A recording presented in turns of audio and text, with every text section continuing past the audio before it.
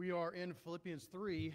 Now, um, let's, we're only going to cover verses 10 and 11. There's a lot of verses 10 and 11, and, uh, but let's go ahead and start in verse 7 and just read through this.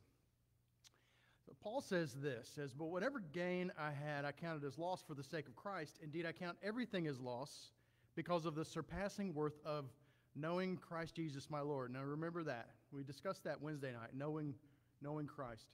For this sake, I have suffered the loss of all things and count them as rubbish in order that I may gain Christ and be found in him, not having a righteousness of my own that comes from the law, but that which comes through faith in Christ, the righteousness from God that depends on faith.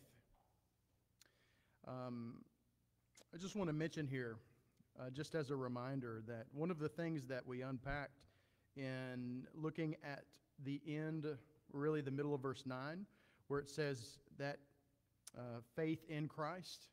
Um, it actually it actually should be translated as the faith of Christ, uh, in the sense that the faithfulness of Christ is the righteousness of God on earth, and we enter into His righteousness because of what He accomplished.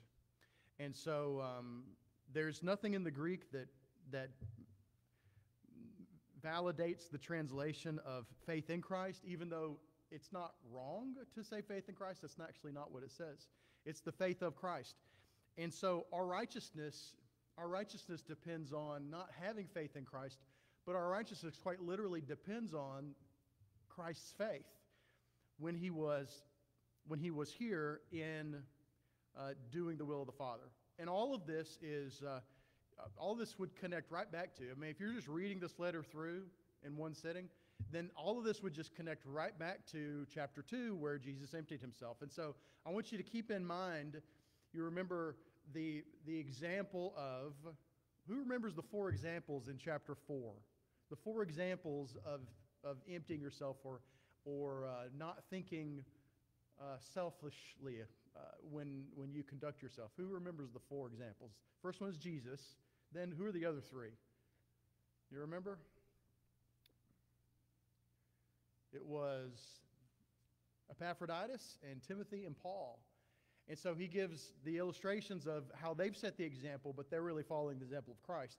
Um, now, as we as we look at the idea that the ideas that we're going to look at in verse 10 and 11, I want you to continue in your mind connecting it back to chapter 2. So, verse 10, he says, That I may know him and the power of his resurrection, and may share his sufferings, becoming like him in his death, that by any means possible I may attain the resurrection from the dead. Okay, so in verse 10, um, he's looking at all of the things that are, as we talked about, his resume, his credentials, all that. And he says, All that is garbage to me. I count it as rubbish. Um, I willingly and gladly throw it all away. In order that, verse 10, in order that, and now we have a, a sort of a list of things. And, and sometimes when you look at the English, it, it gets in the way of us seeing what would be normally thought of as just sort of bullet points in a, in a, very, in a very clear way, if you were to just sort of outline this, what he's saying is uh, first, that I may know him, number one. The second, that I may know the power of his resurrection. And, and literally, we'll get into this, and, and share his sufferings. That actually isn't what it says. It's, it's and know his sufferings. Um, and we'll get to that in a minute, though. But it's translated in a way that makes sense, but he's actually just bullet pointing. He says, That I may know him, that I may know the power of his resurrection, that I, that I may know his sufferings, or may know the fellowship of his sufferings. That's quite literally what it says. Becoming like him in death. And so, becoming like him in death follows from the sharing in his sufferings. Um, that by any means possible I may attain from the resurrection, or attain the resurrection from the dead. And um, I think the New King James says, attain to the resurrection. Now, I want you to see that the, the structure here, he, he says, that I may know him and the power of his resurrection, and you have resurrection here, and then he says, share in his sufferings, being conformed to his death, that I may attain to the resurrection. So you have the resurrection bookending the sharing in sufferings and being conformed to his death. And so he, he is saying that he wants to know Christ, the power of his resurrection, that may share in his sufferings, and he's, and he's essentially giving the formula for what his, his end goal is to know Christ and to share with the work that he's accomplished in his resurrection, but that in order to do that, he has to know his sufferings as well, becoming like him in his death, so that he may attain the resurrection from the dead.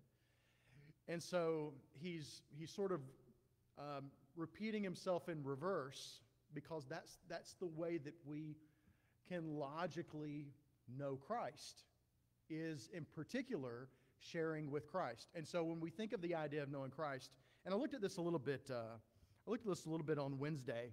The idea of knowing Christ, um, I, I, remember years ago, I, I, mean maybe 20 years ago, I just I remember doing this study where I, I looked up what it means to know, or the word know or knowledge. Now, in the, the first century, uh, and John actually uh, was one of John, the Apostle John, uh, he combated what was called incipient Gnosticism, which is, and I don't like that term because it's confusing.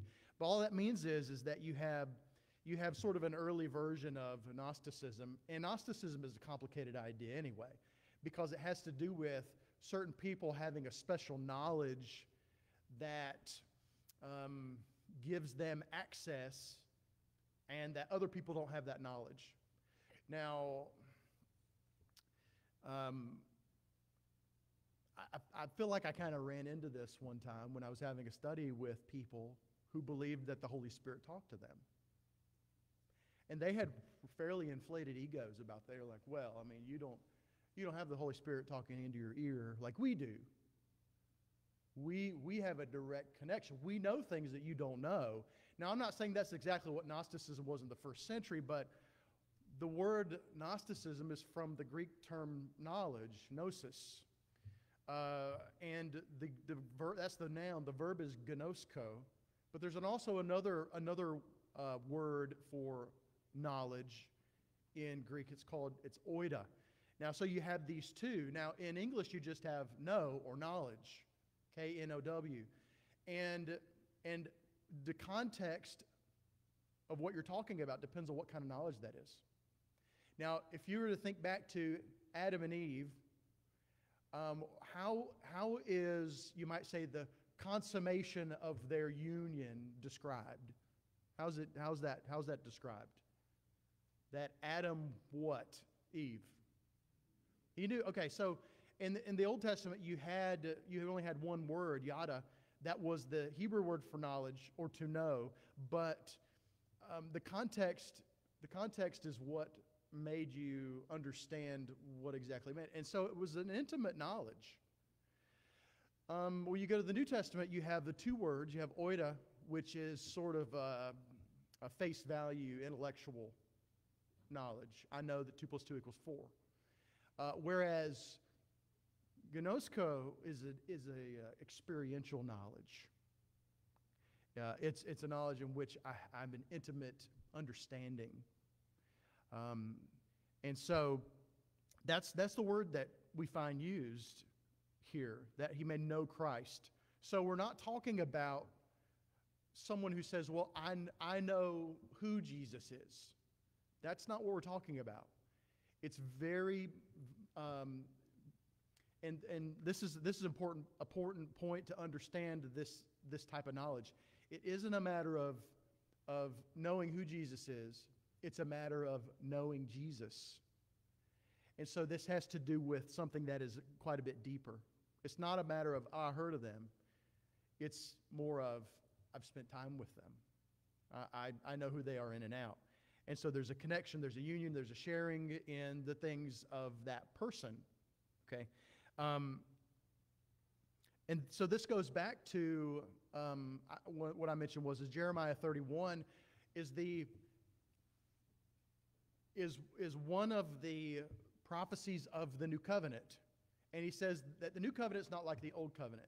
In the old covenant, when you were born into the covenant, you didn't know that you were in the covenant and you didn't know who God was.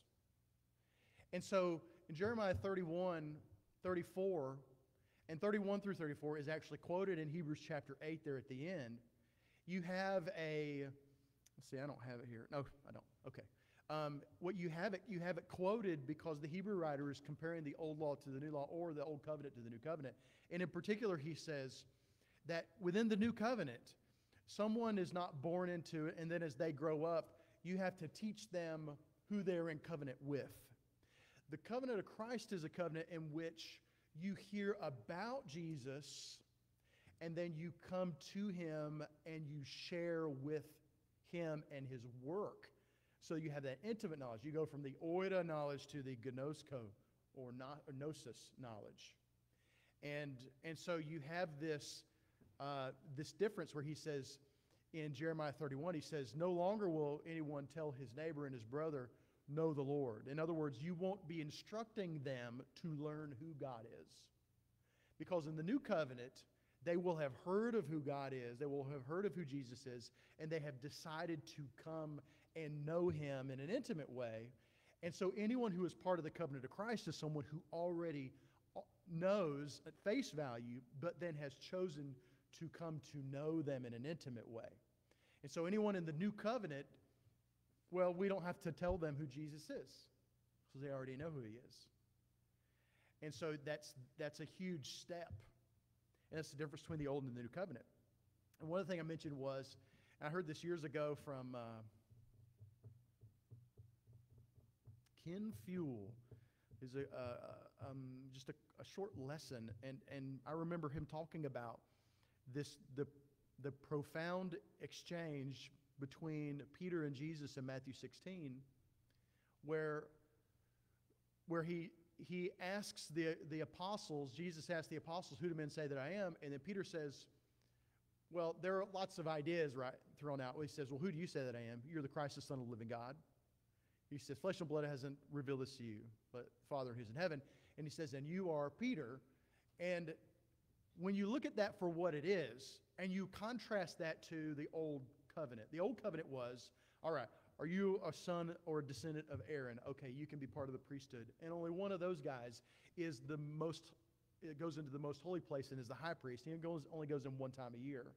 And you remember the stories of, of uh, the accounts of Moses going to the tabernacle where the pillar of fire and the pillar of cloud was to ask God advice about certain things, right? And people would go to him and they would say, okay, what do we need to do? And he would go to God and he would ask them. Well, now it's Peter who is who is Peter? Well, a lot of people like to look at this as change and they say, well, he's this transcendent sort of a person of a he's the pope, right, or whatever. But in reality, who is he? He is a fisherman who who was emotional and said a lot more than he should have said. Um, I can imagine some of the, the uh, apostles standing around sometimes maybe kind of our eyes got really big at what Peter was saying. Maybe they were thinking, well, I was thinking it, but I wasn't going to say it, right? This is this fisherman guy here. He's kind of got a, a, short fuse about what he, you know, that's the, that was Peter. Peter was just kind of an average guy. There wasn't anything special about him. And that's the point. The point is, is that Peter, who's a nobody, looks at deity and says, You're a deity. And deity looks back at Peter and says, And you're a nobody. And we're standing here talking face to face. And we know each other and we're spending time together. And that's the difference between the old and the new law as far as what is accomplished in Christ, is that we now have this ability, as Paul says, I'll count everything but garbage in order that I might know him. And so we can't miss the, the depth and the profundity of that uh, because it, it is in its very essence the whole point of the new covenant is that we know God in a way that we couldn't know him apart from his son. In, in uh, John 14, Thomas says, Show us the Father, Jesus. And he says, You spent so much time with me and you don't know who the Father is? He says, If you've spent time with me and you know who I am, then you know who the Father is. Look, we, and we can't read that and just say, well, okay, let's just move on to the next passage. No, we, we got to understand what, what actually Jesus accomplishes by coming as a human being so that we can know who he is and that we can then share in what he did. And so, so Paul recognizes what we have to recognize about the gospel, the scheme of redemption, which is that the plan all along was for us to come into an intimate knowledge of God in relationship with Him for eternity. And Paul says that has always been God's plan for every human being that's ever lived, and there isn't going to be anything that gets in the way of that. Everything else just goes out the window in order that I may know Him. But then he, he spells out the formula for it. The formula for it is, is okay, it's more than just the face value of knowing who somebody is, but what does it mean to know who Jesus is? And he says, well, knowing who Jesus is has to do with following in the footsteps of what Jesus did. And so someone doesn't truly know Jesus unless they've actually fallen in line with the example of Christ. They, they haven't identified with his work or experienced what he's done. Okay, let's see here. How far off of my notes am I? Um, yeah, uh, this is one of, the, one of the ones that came to mind. One of my favorite passages, 2 Timothy 1.12. For this reason I also suffer these things. Nevertheless, I suffer these things. Nevertheless, I'm not ashamed, for I know whom I have believed, and persuade that he's able to keep what I've committed to him until that day. I've committed myself to him. I know who he is. I know him. I don't. I. I, I and that see, I, even I stated it incorrectly there. It isn't that he knows who Jesus is. It's, it's he knows him. Not knows who he is, but he knows him. Not, not a, a passing acquaintance, and he's a friend of a friend. There, there is a connection here, but, it's, but the, the depth of this is that it's a spiritual connection that happens when someone becomes a Christian. So someone, when someone enters into covenant, they enter into covenant and they share in the work of Christ. And so the knowing Christ means to enter into covenant, and the only way you enter into covenant is by sharing in his sufferings, being conformed to his death, so that by any means you may attain to the resurrection of the dead. Because the only way to get to his resurrection is to go pass through, is to pass through his death. Okay, so so he says to know him and to know the power of his resurrection. And so we our goal is to share. That's the goal of God is for us to share in his resurrection, to experience intimately the resurrection of Christ. And this is something that we will, in, in its fullness, apart from this body, we will experience that. But spiritually, in its fullness, we already experience that. And the power of his resurrection, in the fact that we experience it now, is it's, it's at the very heart of what the gospel message is. the entirety of the Christian worldview hinges on the resurrection.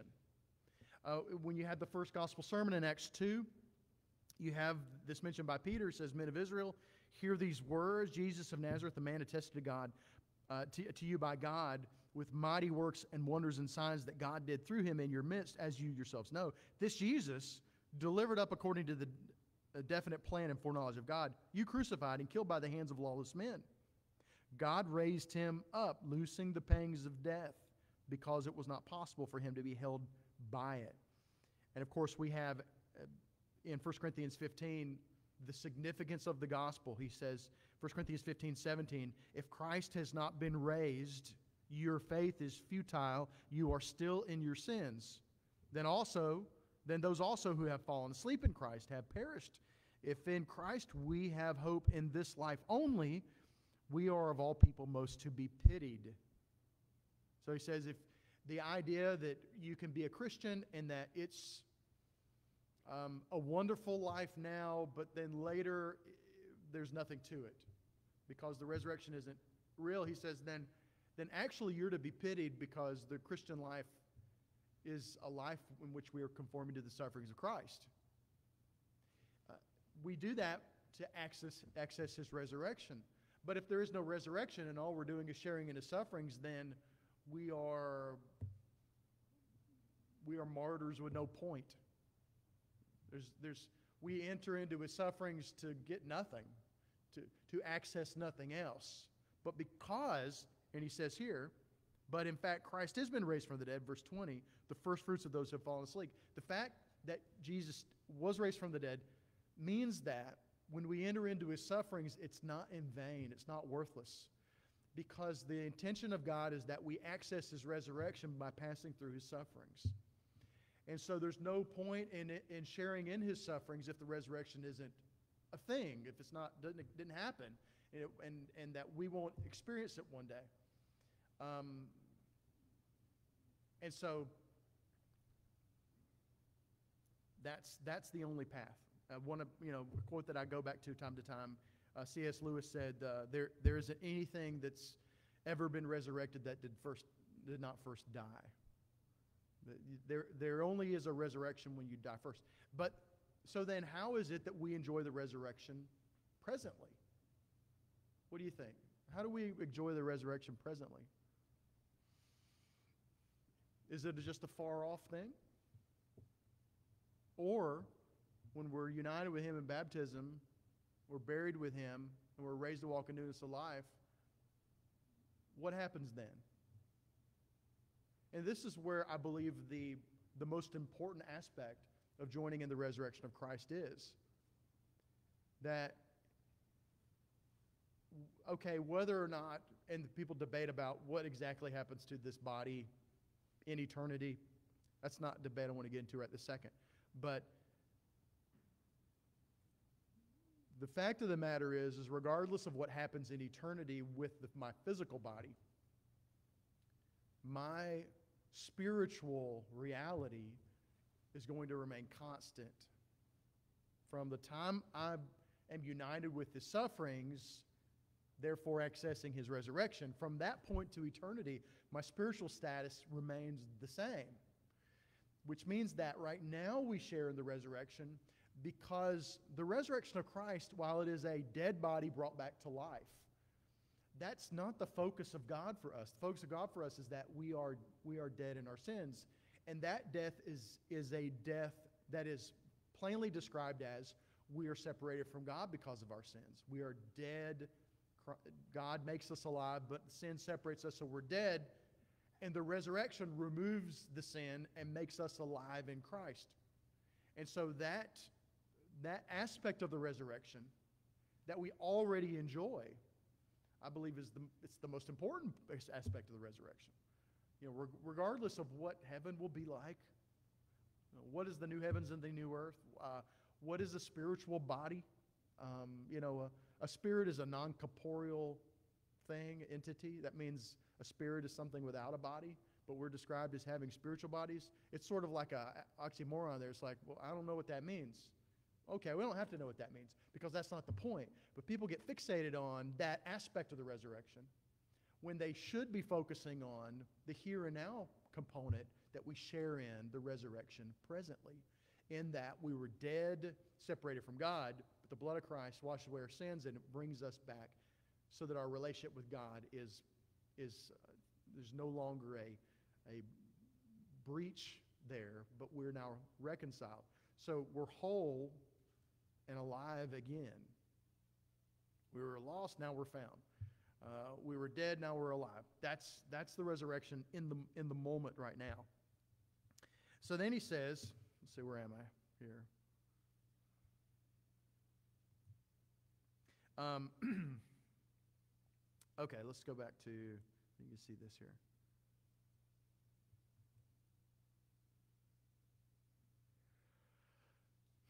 that I may know him and the power of his resurrection and may share his share in his sufferings. As I was studying this, uh, what I saw was that the, the verb there, may share, that, is, that isn't there. That isn't in any Greek manuscript. Um, what is there is, um, and the fellowship of his sufferings. In other words, that I may know him that I may know the power of his resurrection, that I may know the fellowship of his sufferings. That's what literally it says in Greek. Now, why then did the English Standard Version, and I don't know what the NIV says, why did they put a verb there that I may share in his sufferings? Because that's not what it says. It just says, if you were to start with to know, that's the verb, to know the fellowship of his sufferings. Why do you think they did that? And this is where it gets into how translation committees will debate about what a passage means and how should it be translated. What, is it, what does it mean to, to know the fellowship? And the fellowship there is the term koinonia. That's that union fellowship term, okay? What does it mean that we know the fellowship of his sufferings? Well, when they're translating it in the English Standard Version, they said, well, to know it is the idea of an intimate and experiential knowledge. So, what is an intimate experiential knowledge of the sufferings of Christ? It, well, it means to share in his sufferings. And so they said, well, okay, a more accurate translation of what this really means, the way that we would describe it is you have to experience it. You, you got to do it too. That it isn't, an, it's just an intellectual, oh, well, I, I know that he went to the cross. Okay. No, it's, I got to go to the cross too. And that, so they translated it that way, even though it's not a word for word verbatim. Anyone that tells you you need a word for word verbatim translation of the Bible, eh, just don't, they don't really know about translating. Um, and I, I don't mean that as an insult to someone. What I mean is this, is there are times in which, if you translate word for word something, look, you have two words for know or knowledge in the Greek. You only have one in the English. And so one of those and uh, means for us to just kind of intellectually know something. The other one is to intimately experience with, okay? And so when it's being translated into English, it makes sense to differentiate between the two by saying, well, if you want to actually know the fellowship of his sufferings, what it means is, that you're actually sharing in his sufferings. And so when you look at the discrepancy between the two translations, actually what you find is you find the real meaning. That the difference that they made is, is that they're teaching what the deeper meaning of it is beyond what would just be a face value English translation. Uh, and so you think about what we do every week. Every week we memorialize the suffering and the death of Christ. Because that dark day must remain fresh for us. It must. Because we, we must continue to share in it.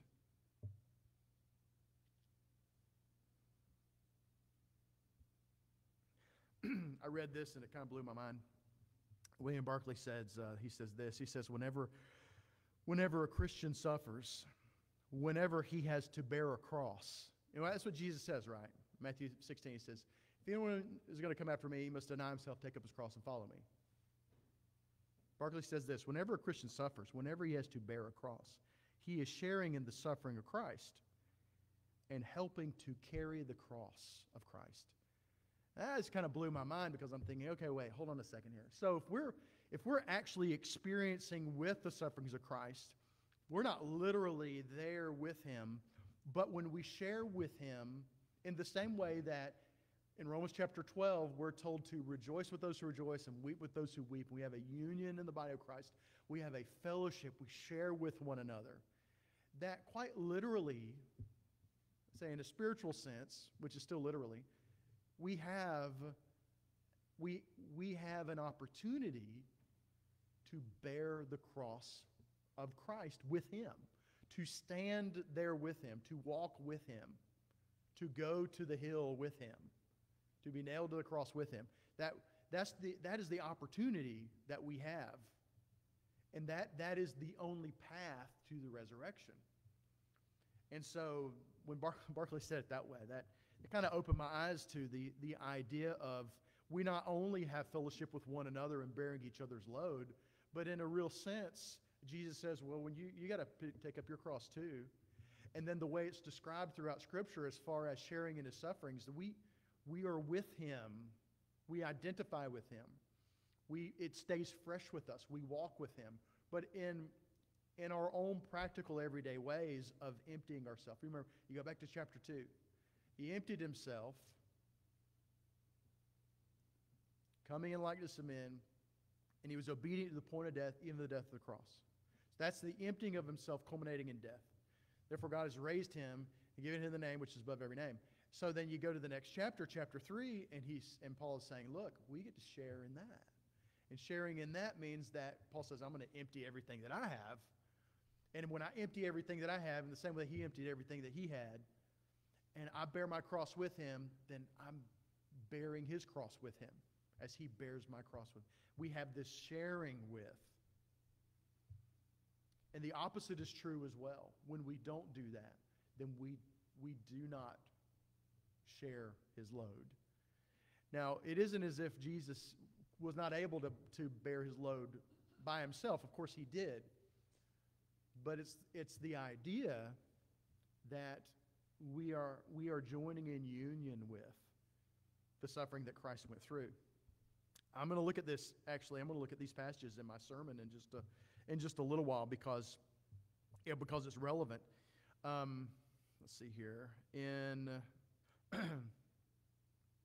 2 Corinthians 4, starting in verse, starting in verse 8, Paul says, We are afflicted in every way, but not crushed, perplexed, but not driven to despair, persecuted, but not forsaken, struck down, but not destroyed, always carrying in the body the death of Jesus, so that the life of Jesus may also be manifested in our bodies.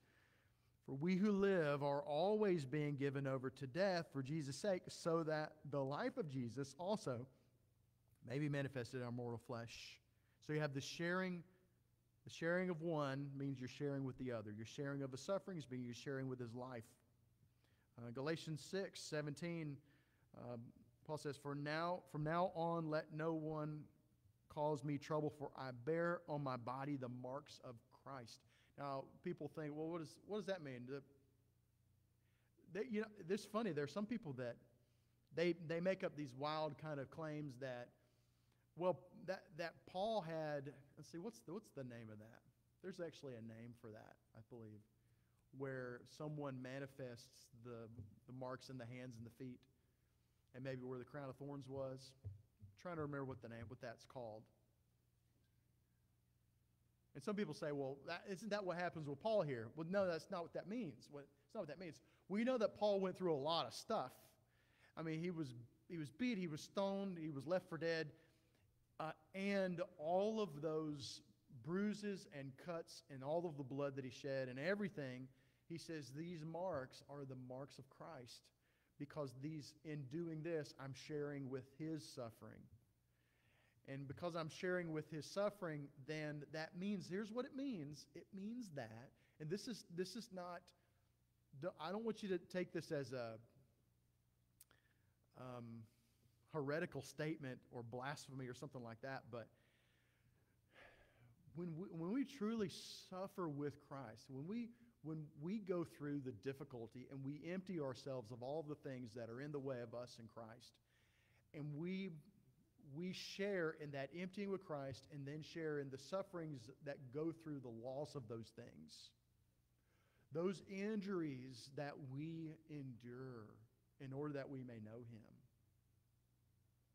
we can rightly call the injuries of Christ. It's the, oh, so, so someone derided you for your faith or talked down to you. Uh, or maybe you had, to, you had to, to give up something that you really wanted to pursue in life, and now you're having difficulty with certain things. And that's, you know, and it's, it's not necessarily something that's going to be a bruise or a cut or blood, that's, but it's going to be an, an injury of some kind that we we willingly go through in order to share in the sufferings of Christ. And those injuries that we go through, we can point to those and we can say, those are the injuries of Christ. Because I'm sharing with his sufferings. And that's really, that's really a beautiful idea. That, that we have that kind of a union with him. That it isn't, it isn't my injury, that it's the injury of Christ. That I bear in my body. That's what he says.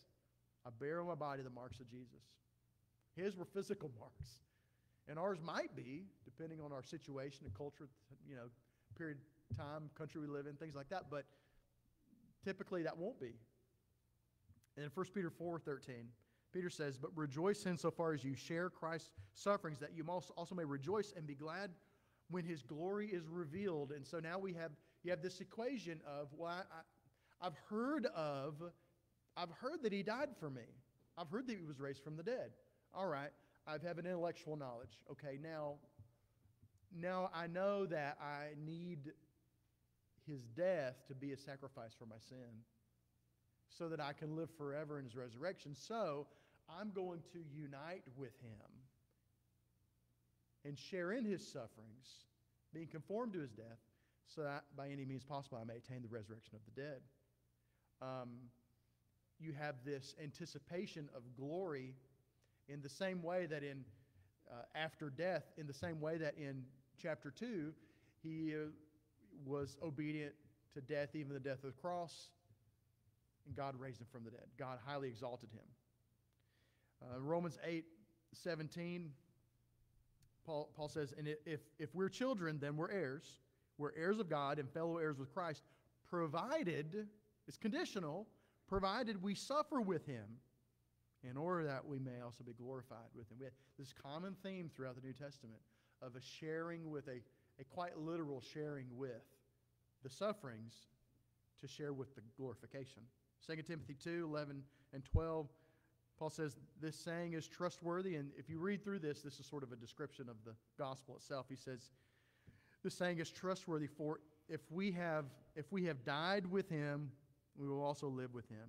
If we endure, we will reign with him. That there's a glorification. There's a that's why we're royalty. That we, we are elevated as, as royalty with Christ. And so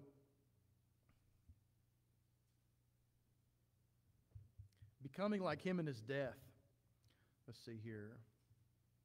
Uh, when you go back to uh, verse 10, becoming like him in his death, uh, the, that term becoming, it it means, literally, it means be, being conformed, to come to be similar in form to something, to share in having the likeness of something, to take on the same form as, or to become like. That we are becoming like him in his death. So, uh, you know, how do we become like him in his death? Well, there's the death to self that he mentions in Matthew 16 24. Deny yourself, Take up your cross and follow me. The way that we conform to his death is as he was approaching his death, what was his attitude? You know, Luke 22 42, not my will, but yours be done.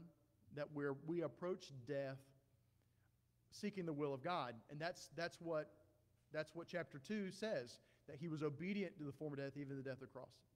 He was obedient to death, even the death of the cross. Uh, that, that, was, that was him saying, I want to do what the will of the Father is, which is going to death. And so this is this becoming like him in his death is the emptying of self that we find in Philippians 2. And we have to imagine that Paul was probably anticipating his death. He didn't know exactly when it would be. He mentions here that perhaps it's not going to be right away, but he knows it's going to happen sometime soon. And so perhaps he's speaking about the manner of death in the sense that um, as Jesus had the resolve, the resolve to lay down his life, that no one would take his life, but that he would be the one to choose to lay it down. That Paul himself would choose to lay it down. He would choose to suffer injury. And that he would not be compelled to, to do it, but that would be a choice in the same way that Jesus chose to, uh, to go through loss and suffering. So when we think about that for ourselves, you know, we're, we're not on death row like Paul was. When we think about that for ourselves, it means that we resolve to suffer loss. That, that's, that's our choice to do that. And we do that as a manner of identifying with Jesus. So no one takes anything from us, no one compels us. We gladly give up the things that would stand between us and knowing Christ, his death, and his resurrection.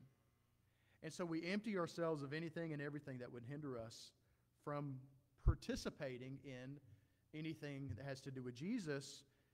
And that's, that's, this is significant because our entry into the covenant is described in that very way. Romans 6, starting in verse 3 Do you not know that all of us who have been baptized into Christ Jesus were baptized into his death? We were buried with him by baptism into death in order that just as Christ was raised from the dead by the glory of the Father, we too might walk in newness of life. For if we've been united with him in a death like his, we shall certainly be united with him in a resurrection like his.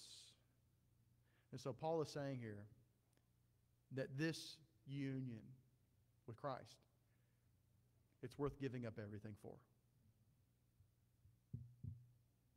And that's where we'll end. Got halfway done. We got verse 10. Okay. Anyone have any comments or questions or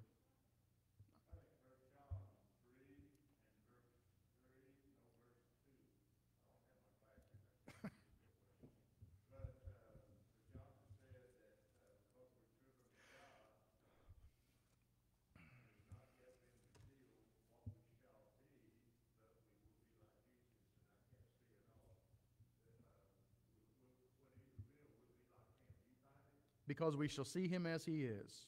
That's what the last part of it says. And that's really the debate.